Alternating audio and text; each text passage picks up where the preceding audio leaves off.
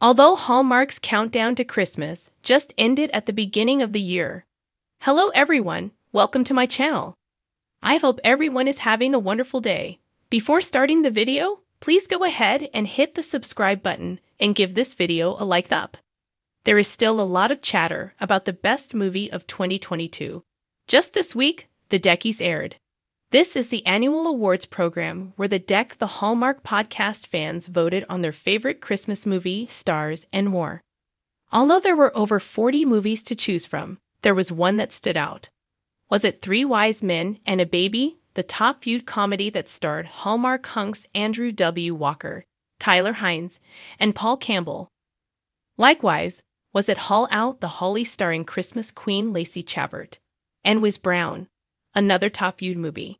Chiefly, could the top 2022 Christmas movie be something else? Off the 23 awards given, seven were given to Ghosts of Christmas Always.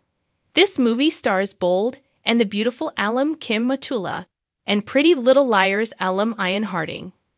Most of all, with a talented supporting cast that includes Reginald VelJohnson, Lori Tan Chin, Beth Liebel, and Christopher Invar, this Christmas Carol reimagining premiered on Sunday, October 30, at the very beginning of the season.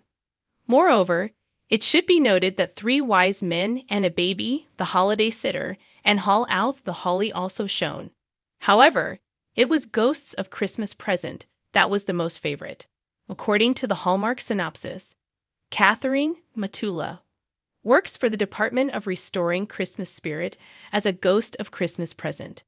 She loves her job, visiting Earth every Christmas to help one unsuspecting soul rediscover their Christmas spirit. But this year has something unusual in store for her. Along with her coworkers, Ghost of Christmas Past Arlene Tan Chin and Ghost of Christmas Future Roy VelJohnson. Their assignment is a man named Peter Harding. They're not sure sure why they've been assigned to him because unlike their typical cases, Peter's Christmas spirit is on point.